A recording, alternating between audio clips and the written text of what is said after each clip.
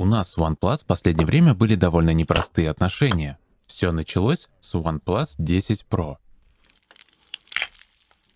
И продолжилось с OnePlus 10T. Но не волнуйтесь, OnePlus, дело не в вас. Все дело во мне.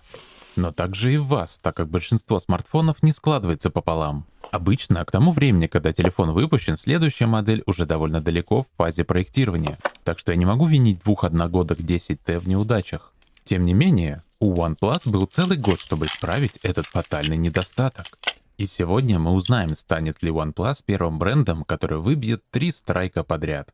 Или станет ли этот новый OnePlus 11 в цвете бесконечный зеленый началом пути искупления ошибок? Начнем с...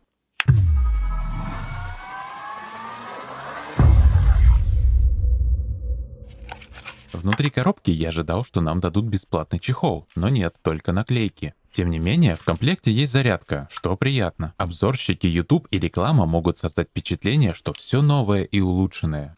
Это происходит с каждой маркой смартфона ежегодно. Но на самом деле единственное, что меняется ежегодно, это форма островка камеры. И в обзоре этого года на островок камеры OnePlus проделал солидную работу. Мне очень нравятся блестящие стальные линии. Но изумрудно-зеленый цвет корпуса все еще не в моем вкусе. Но поскольку мы имеем только два цвета на выбор в этом году, это зеленый, который немного интереснее, чем второй цвет, который черный, поэтому выбор пал на него.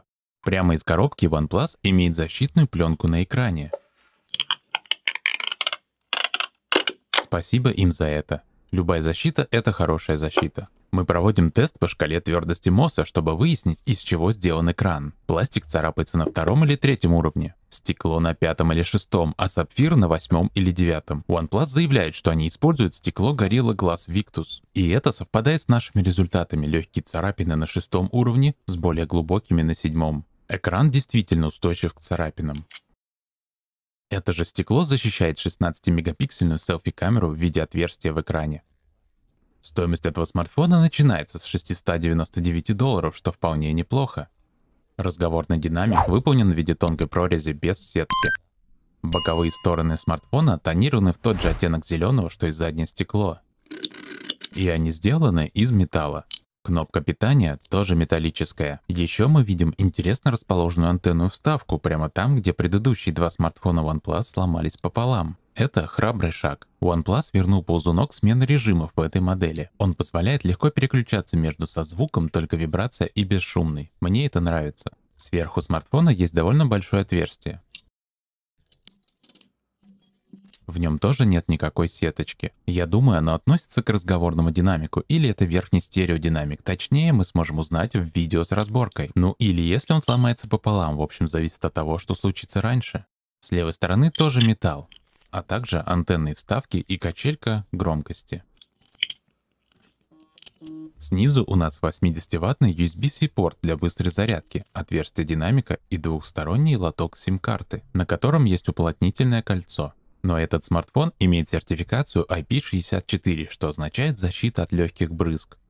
А лично я не стал бы подвергать его любому виду жидкости. Заднее стекло в этот раз гладкое и отполированное. Островок камеры имеет необычное оформление, он переливается изумрудно-зеленым и какими-то частицами. Это довольно необычно. Тут у нас основная камера на 50 мегапикселей, двухкратная зум-камера на 32 мегапикселя и 48-мегапиксельный ширик. Все они под единым стеклом вместе с тройной светодиодной двухцветной вспышкой. Круглый островок камер окружен полированным металлом, который имеет небольшую щель вместе стыка с рамкой корпуса. На лицевой стороне у OnePlus мы имеем довольно впечатляющий дисплей. Размером 6,7 дюйма с 2К разрешением он отображает 1 миллиард цветов и имеет вариативную частоту обновления от 1 Гц до 120 Гц в зависимости от ситуации. 11.11 на часах, загадайте желание. Что интересно, экран выдержал более 50 секунд без каких-либо повреждений пикселей. Очень неплохо. Хотя все же у меня возникла проблема, связанная со сканером отпечатков. На первый взгляд кажется, что он работает очень хорошо, считывая отпечаток пальца супер быстро. Однако, когда я поцарапал поверхность более глубокими царапинами седьмого уровня, он полностью перестал работать. Обычно такие царапины почти не влияют на сканеры, но на этот раз царапины делают работу сканера невозможной. OnePlus больше не может распознать мой отпечаток.